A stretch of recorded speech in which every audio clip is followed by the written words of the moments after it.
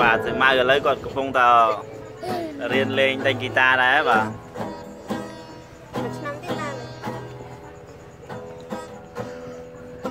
ហើយនៅកំពុងតែអង្គុយចុចទូរស័ព្ទ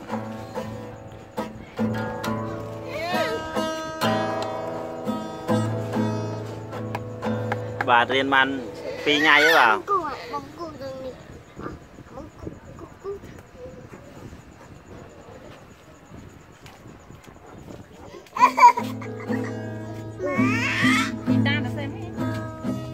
G U I សេខ្មែរ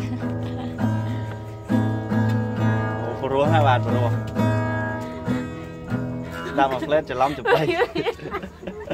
មកទៅបៃដែរបើមិនទៅបៃខ្លួនអីអើស្អីគេធម្មតាមនុស្សរៀនតែប៉ុណ្្នឹងហើយនេះកំបៀមពេញមួយជីតាអញ្ចឹងមកទេគីហោជើងគោហេដាក់ស្រាអីម៉ៃ អេកូនជាងឲ្យទុកមកដេញហើយតស្អាតបាទសីម៉ៅគាត់មានកូនមួយបាទកូនប្រុសនេះ